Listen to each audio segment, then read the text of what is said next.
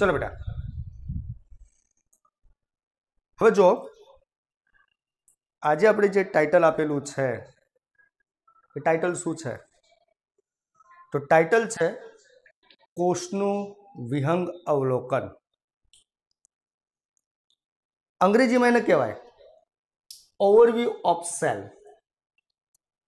તો બેટા, કોષનું વિહંગ અવલોકન, એનો મતલબ શું?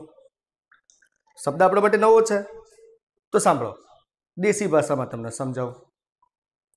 તો કોઈ પણ વસ્તુની તમે જ્યારે મોટી મોટી માહિતી આપો, મોટી મોટી માહિતી આમ બહુ ડિટેલમાં નહીં, એકદમ એવરેજ માહિતી, તો એને કહેવાય વિહંગ અવલોકન. એનો મતલબ કે તમે કોષ જોયો અને જે મોટી મોટી વાત તમને અંદર જાણવા મળી, બસ એની જે રજૂઆત કરીએ, એને કહેવાય વિહંગ અવલોકન. તો વિહંગ અવલોકન એટલે એક કોષની સામાન્ય માહિતી, મોટી મોટી માહિતી ઓવરવ્યૂ એનો. તો આપણે ટોપિકમાં મૂકેલું છે કોષનું ઓવરવ્યૂ આપો. તો ચલો બેટા, કોષ વિશે તો તમે બોલો છઠ્ઠા ધોરણથી ભણો છો કે નહીં? બરાબર. છઠ્ઠામાં કોષ વિશે આવ્યું, સાતમામાં કોષ વિશે આવ્યું, આઠમામાં આવ્યું, નવમામાં આવ્યું, દસમું અને અગિયાર. કશેક ને કશેક કોષની માહિતી આવતી જ હતી. યાદ કરો, છઠ્ઠા ધોરણમાં જ્યારે તમે ભણતા હતા, ત્યારે બે પ્રકારના કોષ તમે જોતા હતા. ચલો, એક કોષ જોતા હતા, તમે વનસ્પતિનો કોષ અને બીજો કોષ તમે જોતા હતા, પ્રાણીનો કોષ ચલો બેટા, મને કોઈ કહેશે? વનસ્પતિના કોષ તરીકે તમે કઈ વનસ્પતિનો કોષ છઠ્ઠા, સાતમામાં પસંદ કરતા હતા? હા, તો ડુંગળીની છાલનો કોષ પસંદ કરતા હતા. તો લાક્ષણિક વનસ્પતિ કોષ તરીકે ડુંગળીની છાલનો કોષ પસંદ કરતા હતા. અને ચલો બેટા, કોઈ કહેશે, પ્રાણીના કોષ તરીકે કયો કોષ પસંદ કરતા હતા? હા, ગાલનો કોષ, એટલે કે ગાલનો અધિચ્છદીય કોષ તમે પસંદ કરતા હતા? તો આમ છઠ્ઠા ધોરણથી આગળ પેટર્ન પડી ગઈ છે. કે ભાઈ વનસ્પતિનો કોષ લેવાનો આવે, તો ડુંગળીની છાલનો કોષ લઈએ અને પ્રાણીનો કોષ લેવાનો આવે, તો ગાલના અધિચ્છદનો કોષ લઈએ. હવે તમને એમ થાય કે સાહેબ, આ કોષ લેવાના કઈ રીતે? કોષ લેતી વખતે તો આમ છેદ લેવો પડે પતરીની મદદથી, બ્લેડની મદદથી. બરાબર ને ભાઈ? હા.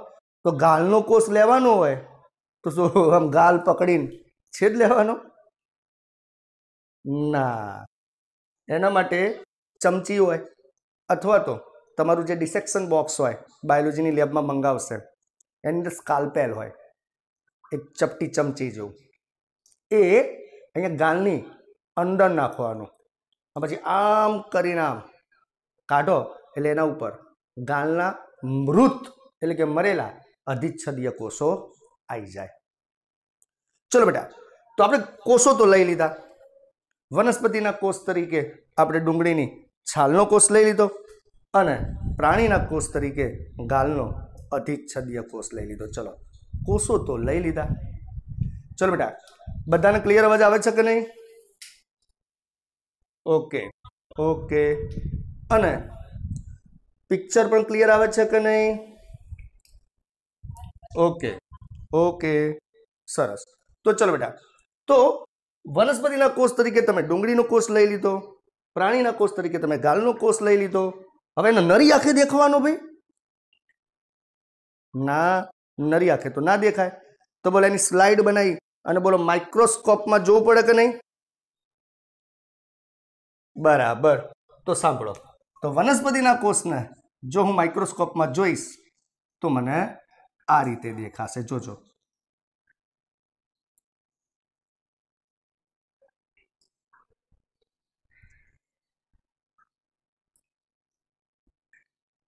બોલો બેટા, આ રીતે દેખાશે કે નહીં? બરાબર? એમાં બે લેયર દેખાશે. મને બે લેયર દેખાશે. બોલો. એમાં સૌથી બહારની બાજુ આ કયું લેયર છે? કોષ દિવાલ છે. અને આ અંદરની બાજુનું આ કયું લેયર છે? કોષ રસ સ્તર, એટલે કે કોષ રસ પટલ છે. તેનો મતલબ કે જ્યારે હું વનસ્પતિના કોષ તરીકે બેટા ડુંગળીનો કોષ લઉં છું, ડુંગળીની છાલનો કોષ લઉં છું માઇક્રોસ્કોપમાં જોઉં છું, તો મને એની અંદર બે લેયર દેખાય છે. બહારની બાજુએ કોષ દિવાલ દેખાય છે, અંદરની બાજુએ કોષ રસ્તર દેખાય છે. બોલો, પ્રાણીનો કોષ લીધો. આ ગાલનો કોષ. એમાં કેટલા લેયર દેખાશે? એક જ. બોલો, કયું એક લેયર દેખાશે? માત્ર સૌથી બહારની બાજુ. કોષ, રસ સ્તર જ એટલે કે કોષ, રસ, પટલ જ મને દેખાશે. તો આના ઉપરથી સાબિત થઈ જાય. તો બોલો, કોષ દિવાલ એ કોનું આગવું લક્ષણ છે? તો કે વનસ્પતિ કોષનું આગવું લક્ષણ છે. કોષ દિવાલ એ વનસ્પતિ કોષમાં જ હોય, પ્રાણી કોષમાં ના હોય. તો ચલો, આટલે સુધી તો એક ઓવરવ્યૂ મળી ગયો બારથી બારથી. કભી કોષને મેં જોયો માઇક્રોસ્કોપમાં અભ્યાસ કર્યો, તો સાહેબ, વનસ્પતિ કોષ હોય તો બે લેયર હોય છે.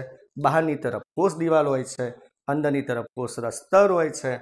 જ્યારે પ્રાણીના કોષમાં માત્ર એક જ લેયર હોય છે, જેને કહીએ છીએ કોષના સ્તર. ચલો આટલે સુધી બધાને કમ્પ્લીટ બરાબર. ઓકે તો ચલો બેટા, બહારથી તો તમે આનો જોઈ લીધો. હવે અંદરની વાત કરવાની. બહારથી તો જોઈ લીધો. અંદર શું છે? બહારથી તો માહિતી મળી ગઈ. અંદર શું છે? એની વાત કરવાની. તો સાંભળો બેટા. તો હવે અંદરની વાત કરવી હોય તો મારા બંને કોષ કદમાં થોડા મોટા બતાવવા પડશે. તો ચલો ધ્યાન રાખજો.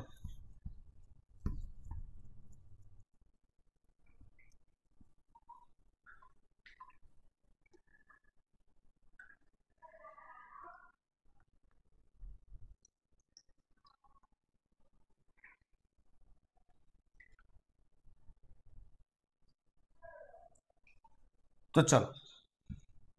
બહારથી તો વાત કરી દીધી ભાઈ. બોલો બહારની વાતો યાદ રહી ગઈ કે ના રહી ગઈ? હવે જરા અંદરની વાત કરીએ. બરાબર. ધ્યાન રાખજો ચલો. અહીંયા. આ હું. બેટા માઇક ખુલ્લું છે માઇક બંધ કરી દો. બોલા કયો કોર્સ દોર્યો? વનસ્પતિનો કોષ દોર્યો. ચલો, એ જ રીતે, અહીંયા આગળ. આ જે કોષ દોરો છો, એ કયો દોર્યો? પ્રાણીનો કોષ દોર્યો. તો વનસ્પતિ કોષ અને આ પ્રાણી કોષ. કારણ કે આપણે બહારથી જોતા જ ખબર પડી ગઈ કે વનસ્પતિ કોષ પાસે બે આવરણ છે. બહારની તરફ કોષ દિવાલ, અંદરની તરફ કોષ રસપટલ. જ્યારે પ્રાણી કોષ પાસે તો એક જ આવરણ છે, કોષ રસપટલ. ચલો અંદર જો તો અંદર આ બંને પ્રકારના કોષમાં મને એક રચના કોમન દેખાશે. જોજો, અહીંયા આગળ ધ્યાન રાખીને જોજો. આ રચના. અહીંયા પણ દેખાશે. આ રચના. હવે ચલો, આ રચનાને થોડી સારી રીતે બતાવી દઈએ.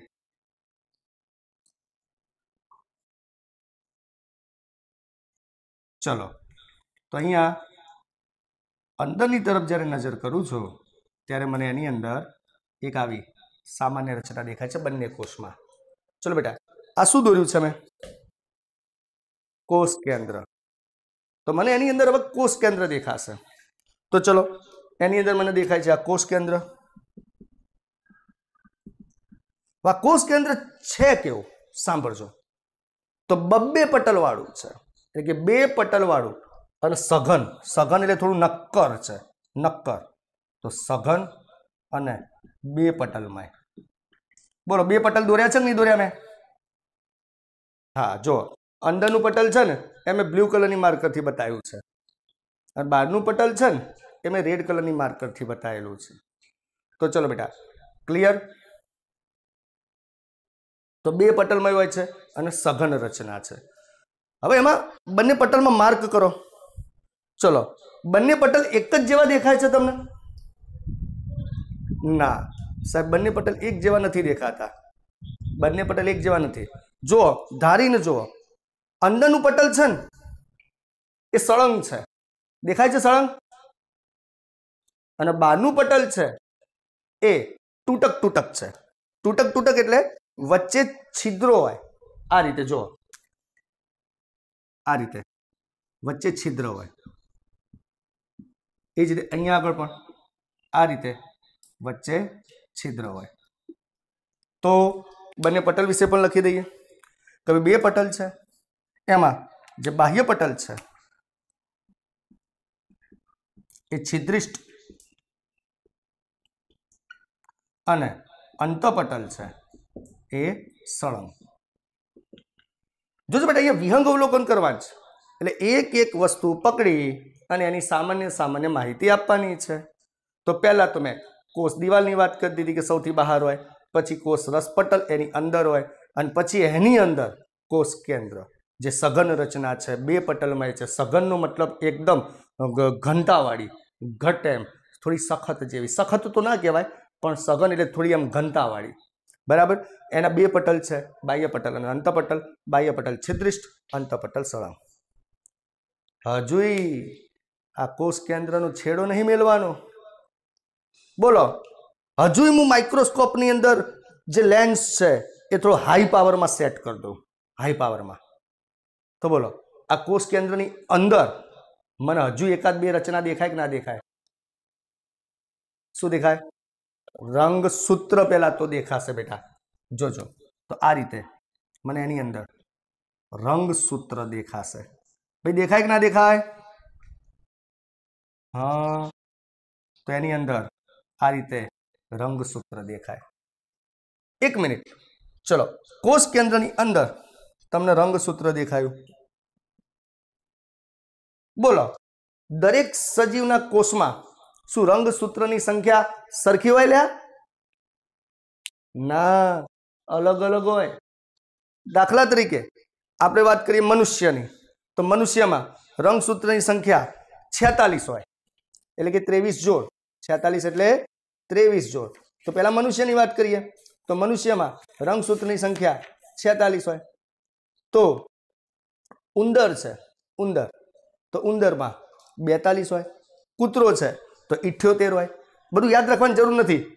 પણ અલગ અલગ હોય. પણ એક મિનિટ. મારો કોષ લઉં અને તમારો કોષ લઉં. તો શું અલગ અલગ હોય? ના. તો સેમ હોય. મારામાં છેતાલીસ, તો તમારામાં છેતાલીસ હોય.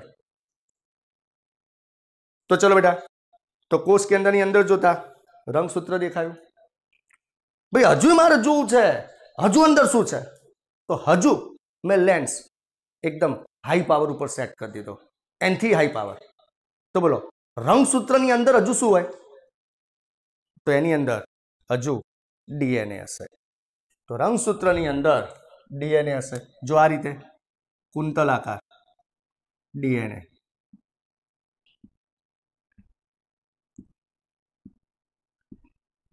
તો રંગસૂત્રની અંદર ડીએનએ હોય તો ચલો અહીંયા લખી દઈએ રંગસૂત્રની અંદર ગયા તો ડીએનએ દેખાયો. તો જો બેટા, કોષ કેન્દ્ર વિશે ઘણી બધી વાતો કરી દીધી આપણે. તો ચલો આટલે સુધી મને તમારે રિવિઝન કરાવવાનું છે હો. ચલો, લાક્ષણિક વનસ્પતિના કોષ તરીકે તમે કયો કોષ જોતા હતા? ડુંગળીનો કોષ. હું પૂછું એ પ્રમાણે જવાબ આપો. અને મોબાઈલ સ્થિર રાખો.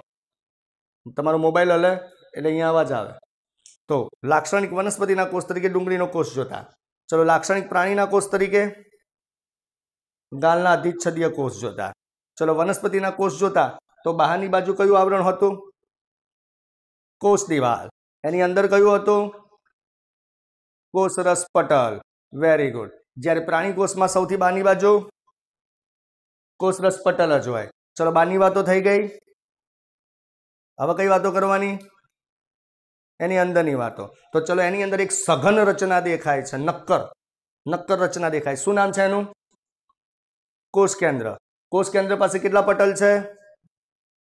બે પટલ છે. બરાબર, બાહ્ય પટલ કેવું છે? છેદ્રિષ્ટ છે. અંતપટલ કેવું છે? સળંગ છે. ચલો, કોષ કેન્દ્રની અંદર દેખું છું તો શું દેખાય છે? રંગસૂત્ર દેખાય છે. રંગસૂત્રની અંદર શું દેખાય છે? ડીએનએ દેખાય છે અને આ ડીએનએ, યાદ રાખજો, એ આપણા આનુવંશિકતાનો એકમ છે. ટૂંકમાં, જેમ તમારા માતા પિતાના લક્ષણો તમારામાં આવ્યા તમારા દાદા દાદીના લક્ષણ માતા પિતામાં આવ્યા આ જે વારસો ચાલે છે, જેને આનુવંશિકતા કહેવાય, એનો એકમ આ ડીએનએ છે. એટલે અહીંયા લખી દેવાય કે ડીએનએ શું છે? તો આનુવંશિકતાનો એકમ છે. ઓકે. ભાઈ, તમને એમ થતું હશે કે સાહેબ, કોષ કેન્દ્ર પૂરું? ના ભાઈ, ના. અભી પિક્ચર બાકી હે મેરે દોસ્ત. બોલો, હજુ યા તો વાત છે કોષ કેન્દ્રમાં કશું હજુ ખોળવું છે આપણે. કંઈક તો હશે સાહેબ. બોલો, હજુ શું હોઈ શકે? કોષ કેન્દ્રિકા વેરી ગુડ તો હજુ એની અંદર કોષ કેન્દ્રિકા હોય. તો જોજો બેટા. આ છે, એ કોષ કેન્દ્રિકા છે. ચલો, કોષ કેન્દ્રિકા વિશે થોડું કહી દઉં તમને. કોષ કેન્દ્રિકા. ચલો, આ જે કોષ કેન્દ્રિકા છે ને, એની સંખ્યા કોક વખત એક હોય, કોક વખત બે હોય, કંઈ નક્કી નહીં. એની સંખ્યા એક પણ હોઈ શકે, બે પણ હોઈ શકે. હા, બેથી બહુ બધી વધારે ના હોય. અને એની ખાસિયત શું છે ખબર છે? એની આજુબાજુ કોઈ જ પટલ નથી. એટલે કે પટલ વિહીન છે. યાદ રાખજો, ખાસ નીટ માટે કામમાં આવશે. આ કોષ કેન્દ્રિકા બેટા કેવી છે? તો કે પટલ વિહીન છે. ચલો હજુ કોષ કેન્દ્રમાં કશું હશે? બોલો વચ્ચે બોલો. વેરી ગુડ તો આ કોષ કેન્દ્રમાં હજુ એક પ્રવાહી રસ હશે. ના ના ના. કોષ કેન્દ્રમાં હોય એનો કોષ રસ ક્યાંથી કહેવાય બેટા? કોષ કેન્દ્ર રસ કહેવાય. તો આ કોષ કેન્દ્રમાં હજુય ધ્યાન રાખજો કોષ કેન્દ્ર રસ હશે. તો આ જે દોર્યો છે બેટા, એ બંને કોષોનો કોષ કેન્દ્ર રસ છે. ચલો. તો કોષ કેન્દ્ર રસ તો જો ઘણી બધી વાતો આપણે કોષ કેન્દ્રની કરી દીધી. બરાબર? હવે આટલે રાખીએ પહેલાં. હવે કોઈ મને કહેશે તો બોલો, આવું મસ્ત મજાનું કોષ કેન્દ્ર, બબ્બે આવરણ, અંદરનું આવરણ, બહારનું આવરણ. એની અંદર કોષ કેન્દ્રિકા, એની અંદર રંગસૂત્ર છે. રંગસૂત્ર પાછું ડીએનએ ધરાવે છે. આ ઉપરાંત કોષ કેન્દ્રમાં કોષ કેન્દ્ર રસ છે. તો બોલો, આવા કોષને અને આવા કોષ કેન્દ્રને સુવિકસિત કહેવાય કે અલ્પ વિકસિત કહેવાય? સીધી વસ્તુ છે બેટા. આને સુવિકસિત કહેવાય. કે આટલું બધું છે, તો સ્વાભાવિક છે સુવિકસિત કહેવાય. તો આ કોષ કેન્દ્ર સુવિકસિત કોષ કેન્દ્ર છે. અને બોલો, કોષ કેન્દ્ર સુવિકસિત છે? તો આ કોષને પણ? બોલો, સુવિકસિત કોષ કેન્દ્ર વાળો કોષ, એટલે કે સુકોષ કેન્દ્રી કોષ, કહેવાય કે ના કહેવાય? હા, તો આ જે છે એ આપણો સુકોષ કેન્દ્રી કોષ છે. સુકોષ કેન્દ્રી કોષ. ચલો, પ્રાણીનો કોષ છે પણ સુકોષ કેન્દ્રી કોષ. હવે સાંભળો. એ સુકોષ કેન્દ્રી કોષનું છે ને, એક લેટિન શબ્દ પણ છે, લેટિન નામ પણ છે. જોજો. સુકોષ કેન્દ્રી કોષ. અહીંયા લખું છું. એનું લેટિન નામ કોઈને ખબર છે? એ યુકેરિયોટિક સેલ હા યુકેરિયોટિક સેલ આ યુકેરિયોટિક સેલ છે લેટિન ભાષામાં યુનો મતલબ થાય સુવિકસિત યુનો મતલબ થાય સુવિકસિત કેરિયોટિક એ કેરિયોટા શબ્દ ઉપરથી આવ્યો છે કેરિયોટા કેરિયોટાનો મતલબ થાય કોષ કેન્દ્ર તો એવો સેલ કે જેનું કોષ કેન્દ્ર એટલે કે કેરિયોટા કેવું છે? સુવિકસિત છે. યુ પ્રકારનું છે. એટલે એને કહેવાય યુ કેરિયોટિક સેલ. ચલો બેટા, ખબર પડી ગઈ? ઓકે. પણ હા. અમુક અમુક કોષમાં લોચા હોય, હો. અમુક અમુક કોષમાં લોચા હોય. દાખલા તરીકે હું બેક્ટેરિયાનો કોષ દોરું. ચલો. એ આ બેક્ટેરિયાનો કોષ. એમાં બધું નથી દોરતો. ખાલી જરૂર છે એટલું જ દોરું છું. અને બેક્ટેરિયાના કોષમાં એ આ એનું ડીએનએ. લ્યો. તો આ એનું કોષ કેન્દ્ર. આ જે રેડ કલરથી દોર્યું જેને તમે ડીએનએ કહો છો, આ એનું કોષ કેન્દ્ર. હવે મને કહેજો એક મિનિટ. શું અહીંયા રેડ કલરથી જે કોષ કેન્દ્ર બતાવ્યું છે, એમાં આજુબાજુ કોઈ પટલ બટલ દેખાય છે ભાઈ તમને? ના સાહેબ, તો કોષ કેન્દ્રની આજુબાજુ કોઈ પટલ બટલ નથી. શું અંદર કોષ કેન્દ્રિકા ફોષ કેન્દ્રિકા દેખાય છે કોઈ? ના સાહેબ, શું અંદર કોષ કેન્દ્ર રસ દેખાય છે? ના. શું આ ડીએનએ વ્યવસ્થિત રંગસૂત્ર સ્વરૂપે ગોઠવાયેલું દેખાય છે? ના. જે ગણોએ અસ્તવ્યસ્ત ડીએનએ નું ગૂંચળું છે, એટલે કહેવું હોય ને તો કદાચ એવું કહેવાય કે એની પાસે એક જ રંગસૂત્ર છે. આ એક જ રંગસૂત્ર એ પણ અસ્તવ્યસ્ત ગોઠવાયેલું. તો તમે જ કહો. બોલો, સાચું બોલજો. તમે તમારા મમ્મીને સોગન બોલો. આ સુવિકસિત કલ્પ વિકસિત અલ્પ વિકસિત ભાઈ. સ્વાભાવિક છે. આ તો અલ્પ વિકસિત થયો. તો અલ્પ વિકસિત કોષ કેન્દ્ર છે. તો બોલો, આવા કોષને, એટલે કે આ બેક્ટેરિયાના કોષને, બોલો, સુકોષ કેન્દ્રી કહેવાય કે આદિ કોષ કેન્દ્રી કહેવાય? હા, તો આ જે છે એ આદિ કોષ કેન્દ્રી કોષ થયો.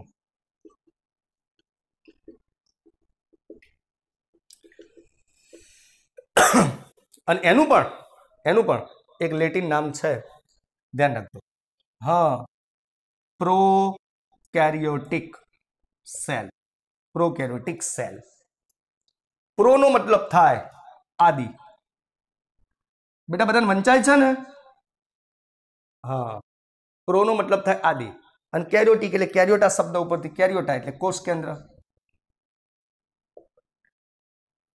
એટલે કે એનું કોષ કેન્દ્ર અલ્પ વિકસિત છે, આદિ પ્રકારનું છે. એટલે કે કોષ કેન્દ્રના આધારે કોષના બે પ્રકાર પડ્યા બેટા. કે જેનું કોષ કેન્દ્ર એકદમ સુવિકસિત છે એવા કોષો સુકોષ કેન્દ્રી અને જેનું કોષ કેન્દ્ર આવું અલ્પ વિકસિત છે એવા કોષોને કહેવાય આદિ કોષ કેન્દ્રી તો આ બધું મોટું મોટું અવલોકન ચાલે છે અને હજુ તો આપણે કોષ કેન્દ્રમાં જ રમી રહ્યા છીએ. ચલો, આટલે સુધી કોઈને ડાઉટ છે? કોઈ ડાઉટ હોય પૂછી શકો છો. હવે સાંભળો. આટલે સુધી તો બધાને ક્લિયર થઈ ગયું. તો શું ખાલી? કોષની અંદર આવી રીતે હું કોષ દિવાલ, કોષ રસ પટલ અને કોષ કેન્દ્ર સમજાવી દઉં તો શું, વાત પૂરી થઈ જાય ભાઈ? ના, હજુ તો સાહેબ અંદર ઘણું બધું હોય. તો ચલો, હવે કોષ કેન્દ્રની વાત તો પૂરી થઈ ગઈ. પણ હવે જુઓ, બેટા કોષમાં જે સ્પેસ દેખાય છે કે આપણી વ્હાઇટ કલરની હા, એ જ રીતે આ પ્રાણીના કોષમાં પણ બોલો વ્હાઇટ કલરની સ્પેસ દેખાય છે કે નહીં? હા, હંમેશા યાદ રાખજો બેટા, હંમેશા યાદ રાખજો. એક શબ્દ તમારે વારંવાર આવશે, એક શબ્દ વારંવાર આવશે. આધારક આધારક શબ્દ વારંવાર આવશે. તો બાયોલોજીની પરિભાષામાં આધારકનો મતલબ તમને કહી દઉં. આધારકનો મતલબ સ્પેસ કોઈ પણ જગ્યાએ ખાલી હોય, ખાલી જગ્યા, એના માટે બાયોલોજીમાં એ લોકો આધારક શબ્દ વાપરતા હોય છે. તો એક મિનિટ. તો બોલો, આ ખાલી જગ્યા કોની છે? હા, એટલે મીન્સ કે કોષની હા, વનસ્પતિ કોષ મીન્સ કે કોષની કહેવાય કે નહીં? એ જે આ ખાલી જગ્યા પણ બોલો કોષની કહેવાય કે નહીં? અને ખાલી જગ્યા માટે કયો શબ્દ વાપરવાનો? આધારક. તો બોલો, હું આને કોષનો આધારક કહું? ખબર પડી? આ સ્પેસનો બોલો, કોષનો આધારક કોષની ખાલી જગ્યા કહેવાય કે નહીં? ઓકે તો આ છે કોષનો આધારક એટલે કે કોષની ખાલી જગ્યા પણ એ ખાલી જગ્યા કોઈકનાથી કોઈકનાથી તો ભરાતી જ હોય બોલો ભરાતી હોય કે નહીં હા તો હવે એ કોષની ખાલી જગ્યા એટલે કે કોષનો આધારક સનાથી ભરાય છે તો સાંભળો એ આ ટપકા ટપકા ટપકા ટપકા ટપકા ટપકા ટપકા ટપકા ટપકા ટપકા ટપકા ટપકા ટપકા ટપકા ટપકા ટપકા ટપ હા ઓક્સિજન ઘટી ગયો ભાઈ. હા. ચલો, ટપકા ટપકા કરી દીધા. ચલો અહીંયા. પણ ટપકા ટપકા કરી દીધા. ચલો. તો આ જે ટપકા ટપકા ટપકા ટપકા કર્યા, કોષના આધારકમાં, કોષની ખાલી જગ્યામાં. બોલો, એને શું કહેવાય? કોષરસ. વેરી ગુડ તો એને કહેવાશે કોષરસ. તો કોષમાં કોષરસ દેખાય. તો કોષરસ છે સાંભળજો બેટા. હવે તમે કન્ફ્યુઝ થશો. બોલો, પરમ દિવસે આવો ને આવો જ એક શબ્દ આવ્યો હતો. જીવરસ. વેરી ગુડ તો પહેલા તમને કહી દેજો. શું કોષરસ? અને જીવરસ એક જ? અલગ અલગ છે. અલગ અલગ છે. યાદ રાખજો. કોષરસ અલગ છે. જીવરસ અલગ છે. હું સમજાવું છું, નીટ માટે આ બંને શબ્દ મહત્વના છે.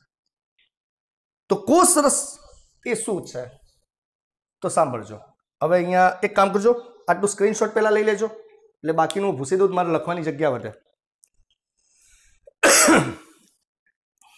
ચલો સ્ક્રીનશોટ લઈ લો. હે ભગવાન. હા બેટા?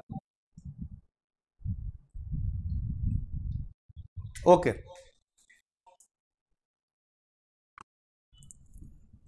માઇક બંધ રાખજો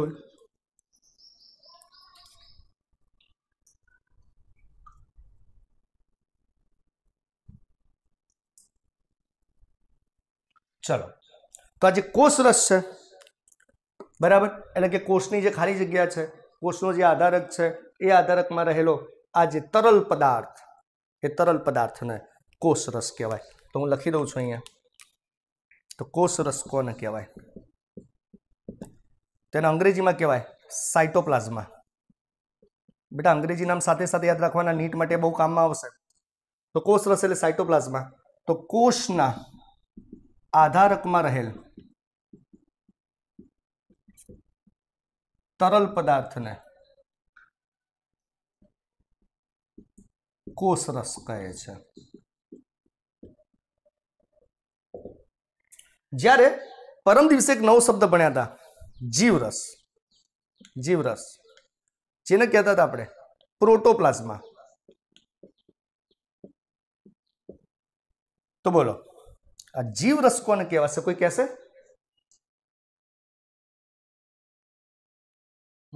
Very good. તો જો સાદી ભાષામાં કહું, તો એવું કહેવાય કે બોલો બેટા, આ કોષના સ્પેસમાં કોષ રસ તો હતો જ, પણ એના સિવાય બીજું કશું નહીં હોય? અંગિકાઓ હશે કે નહીં હોય? હા કે ના? હા, તો બસ, તો કેવું તેવું કહેવાય? કોષનું જીવંત દ્રવ્ય, કોષનું જીવંત દ્રવ્ય ને જીવરસ કહે. અને જીવંત દ્રવ્ય તરીકે કોષરસ વત્તા અંગિકા બંને આવે. એટલે યાદ રાખજો બેટા, કોષરસ એટલે માત્ર ને માત્ર આધારકમાં રહેલો તરલ પદાર્થ. જ્યારે જીવરસ એટલે આધારકમાં રહેલો તરલ એવો કોષરસ તો ખરો જ, પ્લસ એની અંદર અંગિકાઓ પણ એડ થાય. એટલે આવા જીવંત દ્રવ્યને જીવરસ કહેવાય. તો ચલો બેટા ડિફરન્ટ ખબર પડી ગઈ? તો આ તો જસ્ટ વાત છે. મોટું કોણ થયું? જીવરસ જીવરસ મોટો મોટો થયો મીન્સ કે તમે સમજી શકતા શું શું કહેવા માંગુ છું? બોલો. તો બોલો. જીવરસની અંદર કોષરસ સમય ગયો કહેવાય કે ના કહેવાય?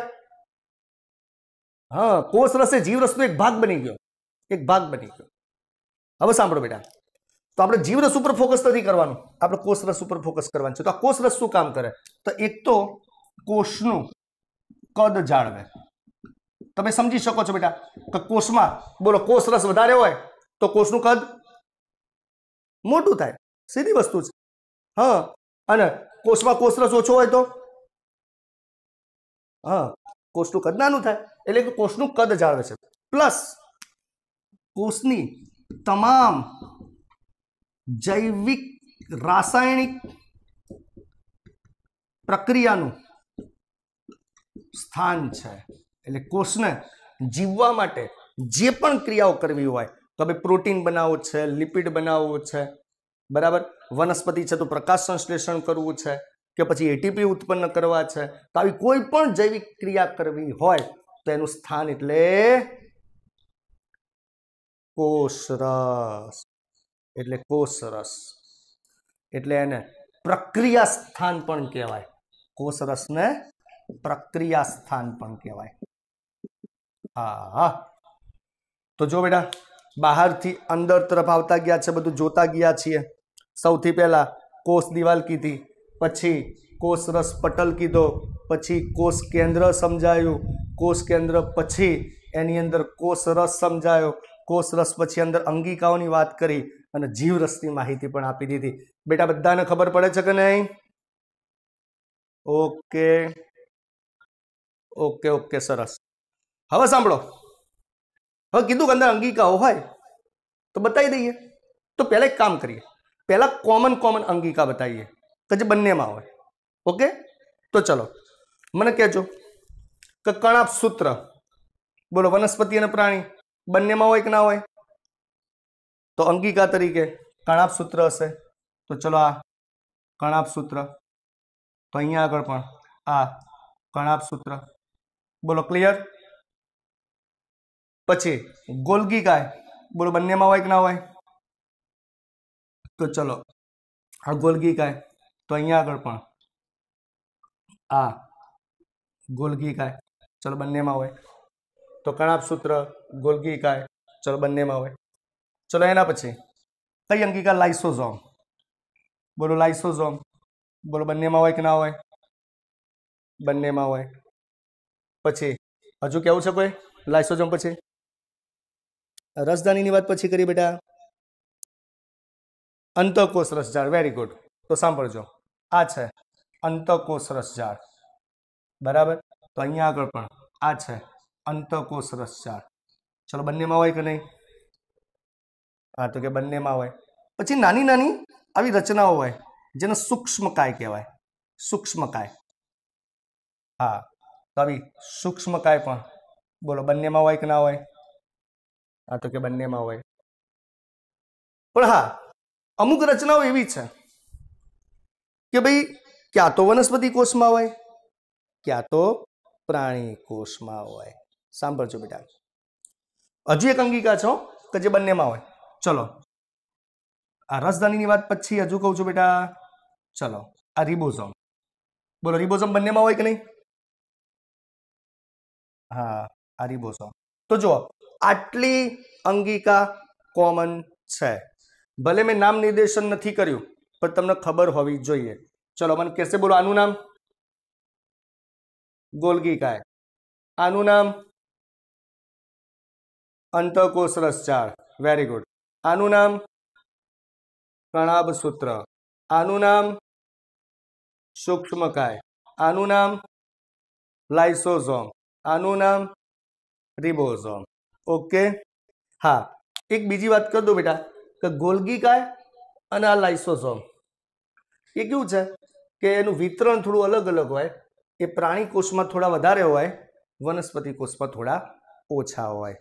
બરાબર? એ પણ પછી વાત કરવાની છે, હાલ વાત કરવાની નથી. ઓકે. હવે સાંભળજો બેટા. પણ હવે આપણે વાત કરવા જઈ રહ્યા છીએ એવી અંગિકાઓની, કે જે માત્ર ક્યાં તો વનસ્પતિના કોષમાં હોય, ક્યાં તો પછી પ્રાણીના કોષમાં હોય. બેમાંથી એકમાં જ, બેમાંથી એકમાં જ હોય. તો સાંભળો. બોલો, હરિતકણ મારે બતાવવા છે. તો હરિતકણ કયા કોષમાં બતાવું? વનસ્પતિ કોષમાં. તો હરિતકણ, હા, એ વનસ્પતિ કોષમાં જ હોય. ચલો, આ છે હરિતકણ. હરિતકણ એ વનસ્પતિના કોષમાં જ હોય. એ પ્રાણીના કોષમાં ના આવે પછી એ જ રીતે, મારે બતાવી છે રસધાની. બોલો, હા, તો રસધાની પણ મોટી હોય. આ મોટી રસધાની. આ તો અંધી મોટી દોરાય પણ જગ્યા નહીં. તો આ રસધાની, બરાબર, તો રસધાની પણ વનસ્પતિ કોષમાં હોય, પ્રાણી કોષમાં ના હોય. કદાચ કદાચ જો પ્રાણી કોષમાં હોય ને, તો નાની હોય. એકદમ નાની. આવી.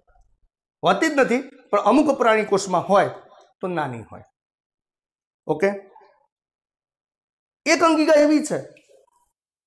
કે જે પ્રાણી કોષમાં છે, પણ વનસ્પતિ કોષમાં નથી. વેરી ગુડ તારા કેન્દ્ર. તો આ જે તારા કેન્દ્ર છે, બેટા કોઈનું માઇક ખુલ્લું છે ને બાર છોકરાઓ બખાડો કરે છે. આ તારા કેન્દ્ર છે. એ પ્રાણી કોષમાં છે, વનસ્પતિ કોષમાં નથી. તો ચલો બેટા, અંદરની અંગિકાઓ વિશેની વાત પણ થઈ ગઈ. થઈ ગઈ કે નહીં? ઓકે. ચલો આટલે સુધી કોઈને કોઈ ડાઉટ છે? ના, સરસ. હવે સાંભળો બેટા. હવે, બોલો. આ ડોબાન મેં શું કીધું તું? આ ડોબાનું નામ હતું રિબોજોમ. એ વિચિત્ર છો બહુ વિચિત્ર. જોન તો ઘૂસી જાય. બોલો. જ્યાં ત્યાં. એ પટલ વગરનો છે. યાદ રાખજો. આ રિબોઝોમ છે ને, એની ભાઈ પટલ નથી. બોલો, આવીને આવી આગળ એક વાત કરી. કોની તો પટલ નહોતું? કોષ કેન્દ્રિકા. કોષ કેન્દ્રિકા પાસે જેમ પટલ નથી, એમાં રિબોઝોમ પાસે પણ પટલ નથી. તો કોષ કેન્દ્રિકા તો બિચારી સારી હતી. એક જ જગ્યાએ રહેતી હતી. બોલો, કોષ કેન્દ્રિકા ક્યાં રહેતી હતી? કોષ કેન્દ્રની અંદર રહેતી હતી. પણ આ રિબોઝોમ છે ને, એ મારો રખડેલ છે. ગમે તો ગમે તો પહોંચી જાય. ચલો, હાલ આ રિબોઝોમ મેં ક્યાં બતાવ્યો છે? એમ નહીં, ના ના એમ રસધારીની બાજુ એવું બધું ના બોલાય. બરાબર? કોષ રસમાં. હાલ કોષ રસમાં બતાવ્યો છે કે બેટા? હાલ મેં એને કોષ રસમાં બતાવ્યો છે. તો, આ રિબોઝોમ કોષ રસમાં તો રહે રે સાંભળો. આ રિબોઝોમ કણાપ સૂત્રમાં પણ રહે. આ રિબોઝોમ હરિત કણમાં પણ રહે. આ રિબોઝોમ અંતકોષરસ ઝાડ ઉપર પણ રહે. વિચારો તમે. અને ઘણી વખતે તો આ કોષ કેન્દ્રના પટલ સાથે પણ ચોટેલો રહે. બોલો, વિચિત્ર કહેવાય કે નહીં સાલો? હા. જોન તો જતો રે બોલો. બોલો, કઈ કઈ જગ્યા કીધી? બોલો આ. કણાપ સૂત્રમાં રહી શકે. પછી? હરિત કણમાં રહી શકે. પછી? અંતકોષ રસજાળ ઉપર પણ રહી શકે. પછી? કોષ કેન્દ્રના પટલ ઉપર પણ રહી શકે. અને કોષ રસમાં તો હોય જ. પણ હા, એક ફેર છો દરેક જગ્યાએ એની સાઈઝ નક્કી હોય. તો ભાઈ અહીંયા રહે છે. તો એની આ જ સાઈઝ હશે. અહીંયા રહે છે, તેની આ જ સાઈઝ હશે. અને સાઈઝ માપવાના જુદા જુદા એકમ છે. જેમ મિલીમીટરમાં મપાય સેન્ટીમીટરમાં મપાય એંગસ્ટ્રોંગમાં મપાય. એમ અહીંયા આગળ રિબોઝોમની સાઈઝ સ્વેડબર્ગ એકમમાં મપાય. સ્વેડબર્ગ અને એની સંજ્ઞા છે એસ તો સાંભળજો. જે કોષ રસમાં જે રિબોઝોમ છે ને, આ કોષ રસવાળો, એ સિત્તેર એસ વાળો હોય. સોરી એસી એસ વાળો. ઉતાવળમાં બોલાઈ ગયો. ચલો. કોષ રસમાં છે. એ એસી એસ વાળો રિબોઝોમ અંતકોષ રસજાળ ઉપર છે, એ પણ એસી વાળો. કોષ કેન્દ્ર ઉપર છે, એ પણ એસ વાળો. પણ જે કણાપ સૂત્રમાં છે, એ સિત્તેર એસ અને હરિતકણમાં છે, એ પણ સિત્તેર એસ નીટ માટે બહુ અગત્યનું છે આ. વેરી મોસ્ટ ટાઈમ પી છે. રિબોઝોમ ભલે ગમે ત્યાં હોય, પણ એના ચોક્કસ માપ પ્રમાણે તે ગોઠવાયેલો હોય. તો બોલો એસીએસ વાળો રિબોઝોમ ક્યાં ક્યાં હોય? એ કોષરસમાં અંતકોષ ઝાડ ઉપર અને કોષ કેન્દ્ર પટલ ઉપર. ચલો, સિત્તેર એસ વાળો ક્યાં હોય? કણાપ સૂત્ર અને હરિત કણમાં ચલો બેટા કમ્પ્લેટ ઓકે. અને મેં રિબોઝોમનું કીધું. રિબોઝોમ પાસે શું પટલ છે? પટલ વિહીન છે. ઓકે. સારું, ચલો માઇક બંધ કરી થોડી વાર.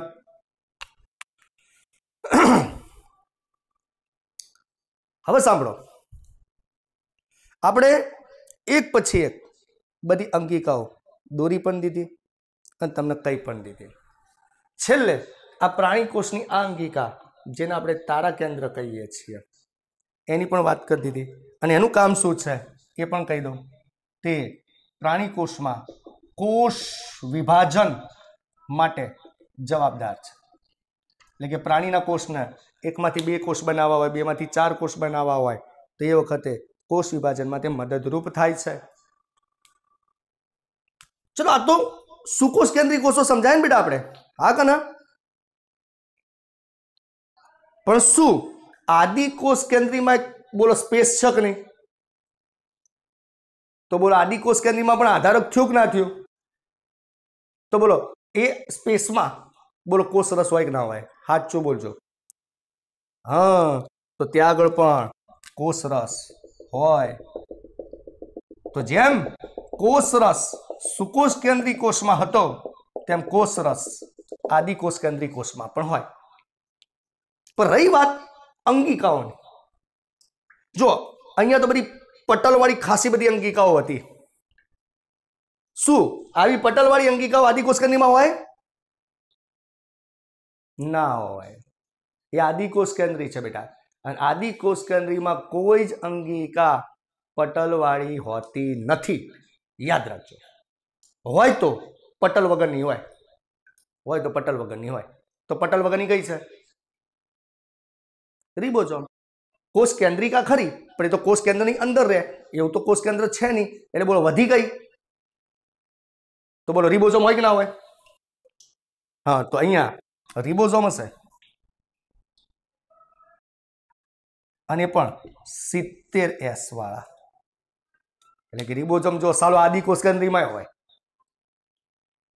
બોલો સમજી ગયા? તો બોલો હવે હું એક વિધાન બોલું છું. સાચું ખોટું તમારે મને કહેવાનું. કે સુકોષ કેન્દ્રીય કોષમાં પટલમય અને પટલ વિહીન બંને પ્રકારની અંગિકા હોય, જ્યારે આદિકોષ કેન્દ્રી કોષમાં માત્ર પટલ વિહીન અંગિકા જ હોય. સાચું કે ખોટું? સાચું. વેરી ગુડ સરસ. ચલો માઇક બંધ કરો બેટા. હવે જરા હું એક મિનિટનો બ્રેક લઈ લઉં છું. બરાબર? ત્યાં સુધી સ્ક્રીન તો આપણી જે એપ્લિકેશન છે ને, એમાં આ રીતનું પેજ ખુલે છે. મેન પેજ એક જ મિનિટ માર્કર હા. બરાબર? અહીંયા આગળ. તમારો ફોટો હોય છે. બરાબર, બાજુમાં ત્રણ લીટી હોય છે. પછી અહીંયા આગળ બધું લખેલું હોય છે. ઇવેન્ટનું હોમવર્ક ને બધું. આવું હોય છે કે નહીં હોતું બેટા હોમ પેજ ઉપર? બરાબર? ફોટો હોય છે, ત્રણ લીટી હોય છે, પછી હોમવર્ક નોટિસ ના અંતે બધું લખેલું હોય છે. બોલો હોમવર્કમાં શું દેખાશે તમને? વીડિયો દેખાશે. રેકોર્ડિંગ કરેલા વીડિયો. બોલો, અત્યાર સુધી કેટલા વીડિયો મૂક્યા આપણે? બે મૂક્યા. બે દિવસના જે બે ચાલ્યા એ. બરાબર? ઇવેન્ટમાં ત્રણ પેમ્પલેટ મૂકેલા છે. પણ ઇવેન્ટ અહીંથી નહીં ખુલે. અહીંથી હોમવર્ક ખુલશે. પણ અમુકની ઇવેન્ટ અહીંથી નહીં ખુલે. તો જેને ઇવેન્ટ અહીંથી ના ખુલે, એને શું કરવાનું? આ જે ત્રણ લીટી દેખાય કે નહીં ઉપર? એના પર ક્લિક કરવાની. એટલે એમાં પણ હોમવર્ક ઇવેન્ટ નોટિસ એ બધું આવશે. અને ત્યાં જઈને પછી ઇવેન્ટ ખોલવાની. તો એની અંદર તમને ત્રણ લિંક દેખાશે. એમાંથી જે ખોલવું એ ખોલી શકો. બેટા ક્લિયર થયું? ઓકે એટલે જેને બહારથી ઇવેન્ટ ના ખુલે, એ લોકો ત્રણ લીટી ઉપર ક્લિક કરી અને આખું લિસ્ટ આવશે. એની અંદર જે ઇવેન્ટ ખોલવાની, તો એની અંદર પેમ્પલેટ તમારા દેખાશે. એની ઝેરોક્સ તમારે નથી કરવાની બેટા. એ બધા જ પેમ્પલેટો જેમ જેમ બનતા જશે, બધા જ પેમ્પલેટ એના પર અપલોડ કરતા જઈશું તમે ઝેરોક્સ પણ આપતા જઈશું. એ શના માટે છે? કે કોઈક વખત બહાર ગયા છો, તમારી પાસે મટીરિયલ નથી, પણ ટાઈમ છે. તે વખતે તમે આમાંથી પણ બધું વાંચી શકો સોલ્વ કરી શકો. કોઈક વખતે તમારું ઓરિજિનલ પેમ્પલેટ ખોવાઈ ગયું તેમાંથી પ્રિન્ટ આઉટ તમે કરી શકો. બરાબર? ઓકે હાલ નોટિસમાં જીરો હશે. નોટિસમાં ટેસ્ટ મુકાશે તમારા. અને એની આન્સર કી? કારણ કે હજુ કે ટેસ્ટ થયો નથી. આન્સર કી આવી નથી, એટલે હાલ જીરો હશે. જેવો રવિવારે ટેસ્ટ લેવાશે, એટલે સોમવારે એની અંદર ટેસ્ટ પણ મુકાઈ જશે, એની આન્સર કી પણ મુકાઈ જશે. એટલે હવે જે વિદ્યાર્થીને હજુ એ એપ્લિકેશન લેવાની બાકી હોય, તો એક વાગ્યા સુધી ઓફિસ ખુલ્લી છે, સાંજે સાડા ચારથી સાત ખુલ્લી છે. રોજે રોજ કહું છું, જેમ બને એમ વહેલા જતા હો બરાબર? તો પ્રોબ્લેમ સોલ્વ થઈ જાય. અને હવે જાઓ, તો સાથે ઝેરોક્સ પણ લેતા જ આવજો નીકળી ગઈ છે. બોલો, બધાને ખબર પડી ગઈ સૂચના? ઓકે, હવે ચલો બેટા, આજના બે એમસીક્યુ લઈ લઈએ. સ્ક્રીનશોટ લેવાનું બાકી તો લઈ લેજો.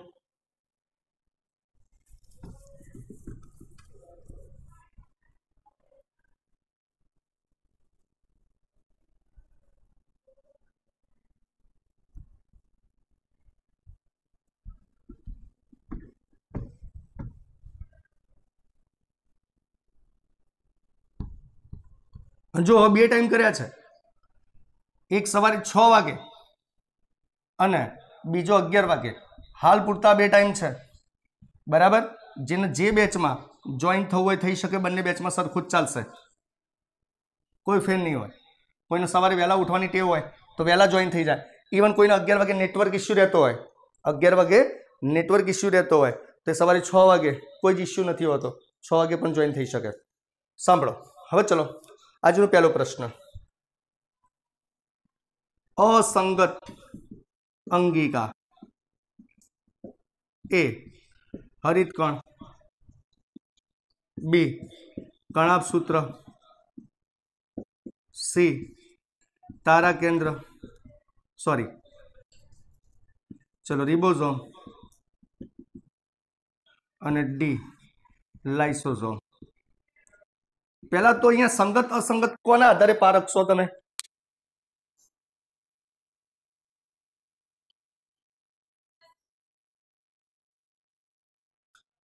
બંનેમાં હોય એવી અંગિકા ઉપરથી તો જવાબ નહીં આવે. પટલ આધારિત. કારણ કે જો તમને કહું, બંનેમાં હોય એવી અંગિકા ઉપર જોવા જશો, બરાબર તો બે જવાબ આવે. જે શક્ય નથી. એટલે માપદંડ બદલવો પડે. એટલે પછી કે એકમાં હોય એવી અંગિકા. બરાબર? એકમાં હોય એવી અંગિકા. તો હરિતકણે આવે. બરાબર? પણ એની અંદરથી યોગ્ય જવાબ તમને નહીં મળે. સમજો બેટા. તો અહીંયા, બોલો હરિતકણ પટલવાળો હોય. કણાબ સૂત્ર પટલવાળો હોય. લાઇસોજમ પણ પટલવાળું હોય.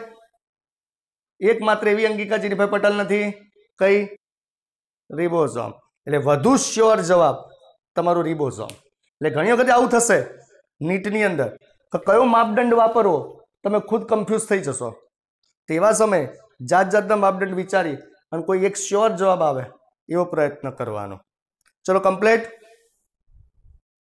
ચલો પછી ચલો થોડો ટ્વિસ્ટ કરીને પ્રશ્ન પૂછું. સાંભળજો. થોડો ટ્વિસ્ટ કરીને પ્રશ્ન પૂછું છું.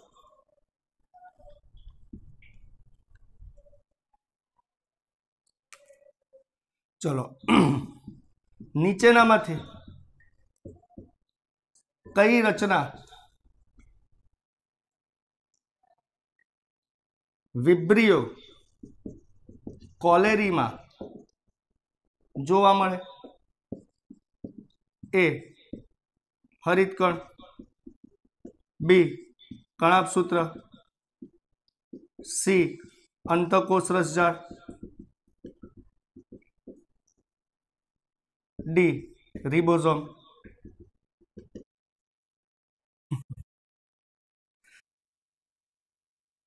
જવાબ આવશે બેટા રિબોઝોમ કઈ રીતે તમે ક્રેક કર્યો બોલો રિબોઝોમ વાળાએ? હા કે ભાઈ વિબ્રિયો કોલેરી તમે આઠમા નવમાં ભણીને આવ્યા છો. જે બેક્ટેરિયા છે, જેનાથી કોલેરા થાય. એટલે બેક્ટેરિયા એટલે આદિકોષ કેન્દ્રી અને આદિકોષ કેન્દ્રીમાં તો બોલો, શું હોય? હા. ભાઈ, આવા પ્રશ્નો પૂછાય ને, પછી તમે શું કહે? સાહેબ, આ તો બહારનો છે. તમે તો કહેતા હતા, નીટમાં એનસીઆરટી બહારનું કંઈ નહીં પૂછાતું. ભાઈ બહારનું ના કહેવાય. આ કોન્સેપ્ટ બેઝ કહેવાય. આ છાતી ઠોકીને કહું, નીટમાં એનસીઆરટી બહારનું કશું જ નહીં આવે. પણ એનસીઆરટી વાંચતા આવડવી જોઈએ. અને કઈ રીતે વાંચવાની એ હું તમને શીખવાડીશ. અઠવાડિયું દસ દિવસ જવા દો. કોરોના હજુ થોડો હળવો થવા દો. પછી હું તમને દસ દસ જણાને ક્લાસ ઉપર બોલાવીશ. એનસીઆરટીની બુક લઈ અને કઈ રીતે રીડિંગ કરવું કે જેથી નીટમાં એક પણ સ્ટેટમેન્ટ મિસ ના થાય એ ટેકનિક હું તમને શીખવાડીશ. કોઈને શીખવાડવાની નહીં. શું કીધું? હા, નકર શું થશે? તમે તમારા હરીફ જાતે જ ઊભા કરશો.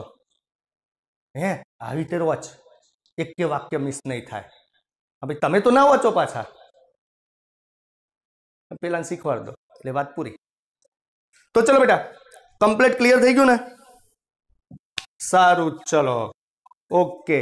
તો હવે જો બેટા, આ ડેમો ક્લાસ એટલે એવું નહીં કે જે ચાલી ગયું સાહેબ પાછળથી ચલાવશે. એટલે તમારા સર્કલના જે વિદ્યાર્થી હજુ ગ્રુપમાં હોય પણ ના જોડાતા હોય, તેમને કહી દેજો કે પાછળ કશું નહીં ચાલે. દાખલા તરીકે ડેમો પૂરો થશે તો જે ટોપિકથી બાકી હતું ત્યાંથી જ આગળ ચાલશે. બરાબર? દાખલા તરીકે પોચ પેજ પતી ગયા છે, તો ડેમો પછી છઠ્ઠા એટલે રેગ્યુલર જ સમજવાનું આને. રેગ્યુલર જ સમજવાનું. ઓકે અને એક બીજી કહી દો બેટા, જેને ટ્યુશન હવે બંધાવવાનું ના હોય, એ લોકો, બરાબર? સ્વેચ્છાએ ગ્રુપમાંથી રિમૂવ થઈ શકે છે. હું કોઈને ફોન બોન કરવાનો નથી ભાઈ તમે કેમ નીકળ્યા? બરાબર?